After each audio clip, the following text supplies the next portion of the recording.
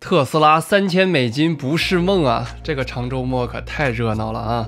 马斯克给员工发的内部邮件告诉大家，三千美金一股不是梦。这条消息呢，是我们频道的朋友应该算是全网第一时间啊发出来的，对吧？十点三十三，老马发的内部邮件，十分钟之内就传到了我这里。我呢是先发了咱们这个油管的社区。然后呢，想着发个推特看看有没有什么情况，结果可好，我见识到了什么叫一石激起千层浪。我的这个推特提示啊，二十四小时就没停过，几百上千条的评论、点赞、转发。特斯拉投资圈的大佬呢，包括 Dave Lee、什么 Sawyer，然后 Gary Black、h o l Mars，然后 Warren 等等，都转发评论，甚至私信我。还炸出了一个这个隐藏的大佬啊，自称拥有一百万股特斯拉股票，排第三名的个人投资者。这个长周末呢，跟大家聊聊这个小八卦发生了什么，影响有多深。最后聊聊马斯克为什么在这个时候选择啊发这种内部邮件来鼓吹股价。如果这期视频大家觉得有意思，麻烦提前点赞，表示对本频道的支持。事情是这样的啊。九月四号十点三十三，老马发的这个群邮，标题是：如果我们执行的非常的好，我同意方舟投资的这个想法。内容呢是 Tasmania 关于 Ark Invest 对特斯拉二零二五年三千美金目标价的这么一个文章。哦，基础目标价对 Base Price。然后咱们频道的朋友呢，也是员工啊，十分钟就告诉我了这个消息。我本来呢也没当回事儿，对吧？因为内部员工本来就很多，咱们频道对吧？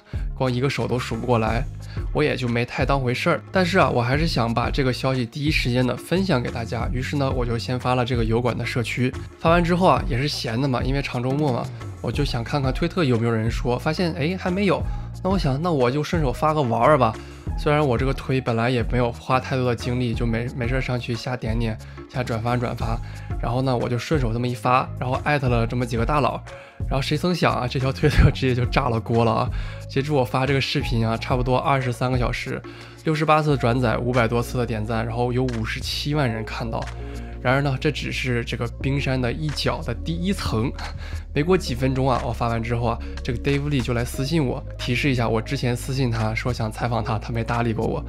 然后他就私信问我说：“你这个消息是哪来的？”我就说我们频道的这个内部员工发给我的。他说：“这个看起来是假的呀，有点像假的，你能这个是真的吗？你能不能证明一下？”我那个时候正好正在跟 Vincent 打电话，我就说他那头也收到了截图。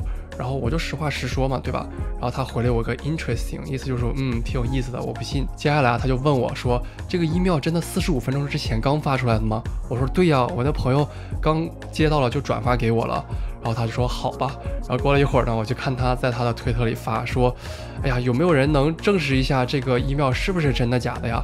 然后还艾特我，让我看啊，现在也有四十六个转发，很多的评论和点赞。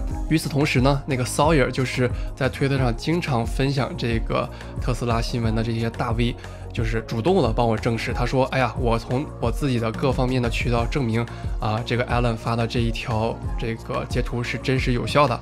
然后呢，看着有一百多个转发，一千多个赞。然后他还跑来私信我，问我说，哎，你这个消息是哪来的？我说。都一样对吧？你哪来的我就哪来的，是吧？然后互相这个寒暄了一番，也就没多说什么。这个时候我就觉得这个消息真的是传播是分很多很多层了。就是过去了很多个小时之后，还有人在质疑说，马斯克真的发了这个的吗？他不是已经不在乎股价了吗？他为什么这个时候出来股价鼓吹股价这那那个的？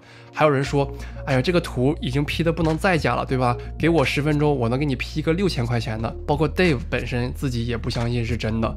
然后呢，一面我的评论区已经有很多这个特斯拉的员工说收到过类似的邮件，一面呢一堆人评论说不可能，能不能证实一下？还有人说能不能证实一下这个邮件不是被 P 的？还有人说能不能证实一下马斯克的邮箱没有被入侵？我就感觉到这个世界啊，认知的 水平的鸿沟啊，还是挺大的啊，也觉得特别好笑。就是我也不是什么闲人，对吧？我也没有空，就是 PS 这种东西来哗众取宠。我的信息绝对是我证实过的渠道之后才会给发出给大家分享的。不过他们这个求真呢、务实的精神还是值得表扬啊。最后 Dave 也是说，他很多方面证实啊，这个截图是真的。真的兜兜转转还是会回来，对吧？还有一点就想不通啊，就是他从二零一三年就投资特斯拉，就也这么大的一个股东，他怎么连个靠谱点的这个信息源都没有呢？我有点费解啊。接下来这个什么 Gary Black 大佬也是评论转发给出了他的观点，基本就是他那一套东西也没有什么新奇的。有一个啊推引起了 Dave Lee 还有我的重视，这个他这个哥们儿叫 Cogan Liu 说，啊木头姐说的对，我相信他。然后他还说啊我要买并且加仓超过一百万股的特斯拉。就这种消息吧，我一开始一看是不信的，对吧？然后我就点开了他的这个 profile，他说自称呢他是这个特斯拉第三大的个人投资者。我一看他十三个 follower，我就觉得哎呀，就是不是假号之类的，对吧？后来有很多人看到他这个推特并且转发，然后呢也有就是网友补充嘛，就说在福布斯排行榜榜上找到这个人，排名一千四百四十四位，中文名字应该叫廖凯元。显示的这个净资产呢，实时的净资产是二十一亿美金。后来啊，这个 Chicken Genius 新加坡也转发了他这条推特。等我今天一看，好家伙，这家伙粉丝从我一开始看只有十三个粉丝，一下就涨了七百多，一天涨粉数量直接超过我这个推特上的 follower 啊！这是资本的力量吗？然后这条推特现在还是在持续的发酵中啊，大家可以自己脑补以后这个之后的余波会有什么样的蝴蝶效应。就说一个大佬说他要加仓一百万股，或者是说他已经有一百万股，还是要继续加仓。然后其他人看到这个消息的时候会是什么样一个反应？下面呢，现在这个节奏已经不知道渗透了多少层了。由于他们每一次的转发评论。啊，都会艾特我，我的这个推特已经炸锅了啊！就是从一开始大家在讨论这个邮件的真假，后来讨论马斯克啊，讨论特斯拉的估值，讨论 ARK 基金的目标价是不是太保守了、太疯狂了，到现在已经开始聊什么芯片短缺、Dojo，然后特斯拉产能。还有人聊起来什么比亚迪，就是总之形形色色、琳琅满目。我真是第一次见到这个呃网民的力量。这里面啊这么多推，我最喜欢的是 e m m a Pepper 的评论，他也是我我觉得最接近老马本身的想法的。他说啊，其实这个三千块钱目标价我们都是知道的，对吧？但是更重要的是让特斯拉的十多万员工知道，他会帮助他们更加的有积极性来工作。还有很多员工啊，现在选择这个付款方式的时候，还是选择现金，呃，不是选择股票，这个可能会帮助他们来这个做出更好的选择。我也是说啊，他们夜晚啊彻夜加班的时候，真的很需要这些鸡血。这也是接下来我想讲的，老马到底这个时候发这个邮件的目的是什么？首先啊，这肯定不是内幕交易，对吧？首先它是转发的 Tasmanian 写的关于 ARK 基金的目标价。其次呢，它是在内部邮件转发的，而且讲的都是大家已经讨论了很久的、都认识、都知道的这么一个事情，而且对大众来说呢，都不是什么新鲜事儿和新闻。它最原始的目的就是为了激励员工。现在马上不是这个季度末要交付了吗？每一个员工都要全力以赴的达成这个 quarter end push，加班加点在所难免。老马的邮件用词呢也是非常有意思，If we execute really well, I agree with ARK Invest。